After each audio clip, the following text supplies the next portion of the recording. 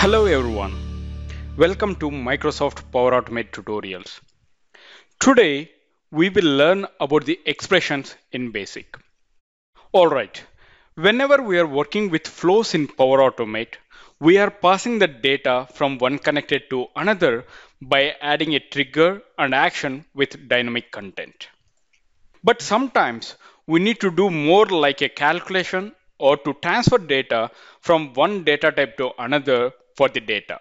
In that case, we are going to use expressions. What is expression? In Power Automate, expressions are a set of simple functions that enable you to return data. Or expressions can be perform specific actions or set of actions in flows where user can do basic operations like getting the current time, adding numbers together, or replacing a part of a string of text and many more. Where we'll find these expressions in flows. If you see over here, I'm having a trigger and action. This is the manually trigger a flow. And I'm having an action over here by using compose. And you can see over here dynamic content. There you will find dynamic content. In all our previous sessions, we have used this dynamic content to get the inputs over here, right? You can see over here, these are all the inputs that what we have from the manually trigger flow, right? If you want to do some kind of actions on the data, in that case, you are going to use expression over here. You can see over here, there are a lot of expressions that we have to perform the specific set of actions. All right, once again, what is the expression? Expressions are a set of simple functions that enable you to return data. And there are different types of functions are available in Power Automate. There are totally 10 different categories we have for the different types of functions.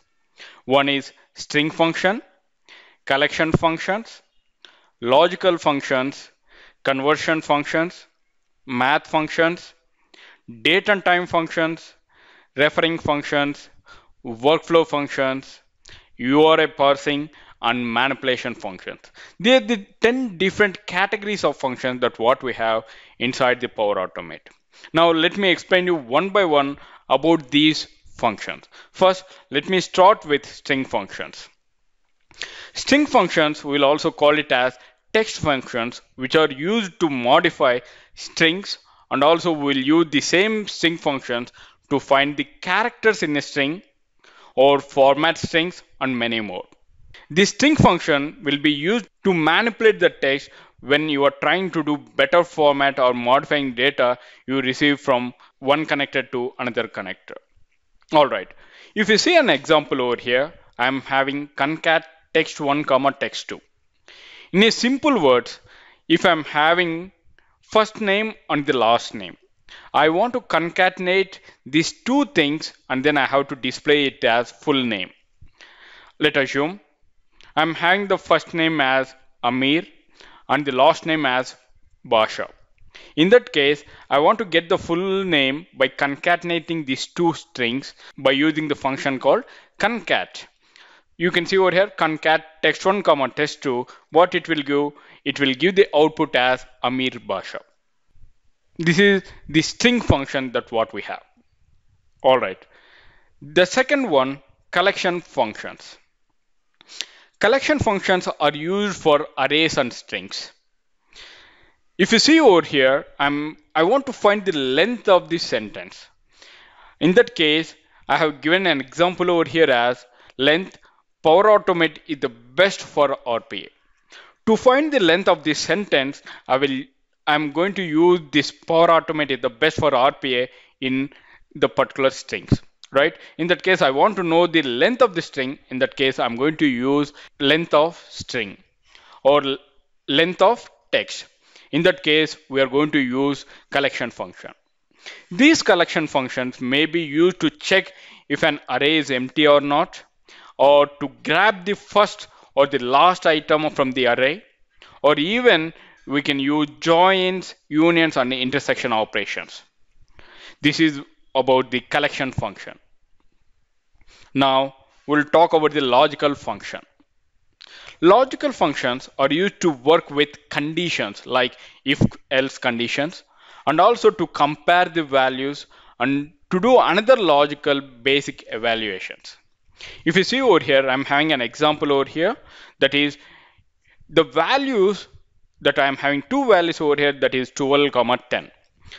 If 12 is greater than 10 in that case I want to give it I want to give the output as S. If it is less than 10 in that case I'm going to give it as no right?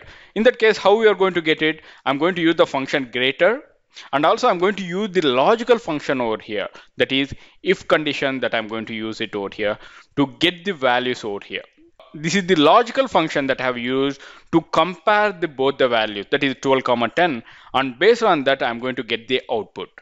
This is where we are going to use logical functions. Now we'll talk about the conversion functions. Conversion functions are used to convert the data type from one data type to another. For instance, suppose I'm having the value over here. If you see the example, I'm having the value 12 but it is actually in the double quotes nothing but the value is string data type. And then I want to convert this value string to another data type that is integer. Then in that case I'm going to use int of the string value that what we have given in the numbers right? In that case what it will do it will convert the value from one data type to another. In that case we are going to use conversion functions.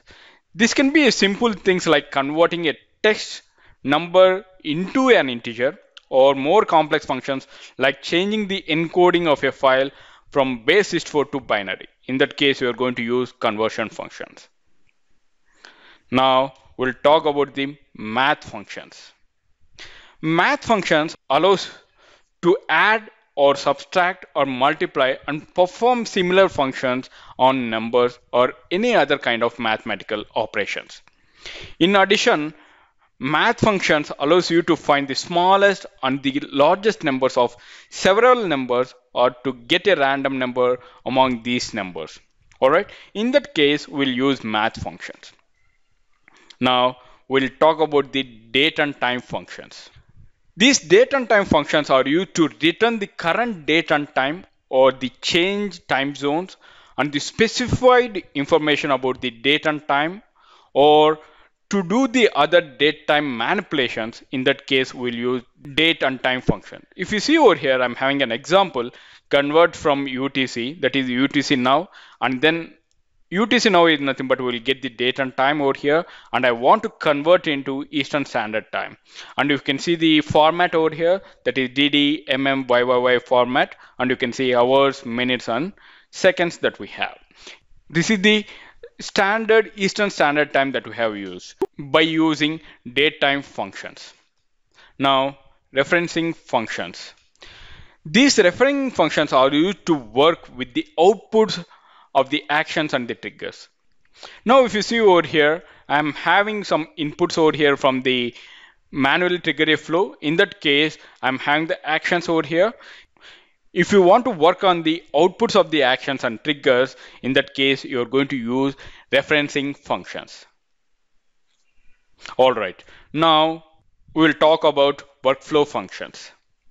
Workflow functions are used to retrieve the information about your flow and are closely related to the referencing of the functions. One of the functions is called workflow. If you see one of the example over here, I'm having workflow.run.id. I want to know the ID which currently the flow is running, that ID I want to know. In that case, I'm going to use workflow functions. All right. Now, URI parsing functions. These functions are used to dissect a URI that is passed in as string. You must use these functions to find the host or the path or the query and or the other portions of the URI. In that case, you are going to use URI parsing functions. If you see an example over here, I'm having URI query that is inside that I'm having the URL with the https flow.microsoft.com slash fake URL question mark test equal to yes. In that case, if you want to know the particular path or the query string, in that case, you are going to use URI parsing functions. All right. Now, finally, we'll have manipulation functions. Manipulation functions are used to work with specific objects in your flow. You can do things such as find the first non-blank value or work with properties or to find the XPath matches. In that case, you are going to use manipulation functions. These functions are typically in JSON or XML nodes evaluation purpose. You are going to use manipulation functions. These are all the 10 different categories of the function which are available in expressions. In the upcoming sessions, I will explain you how to work with these functions in detail. Thank you for watching Power Automate tutorials. If you have any queries related to this concept, please post them in the comment section. I will see you in the next session. Till then, bye-bye. Have a wonderful day.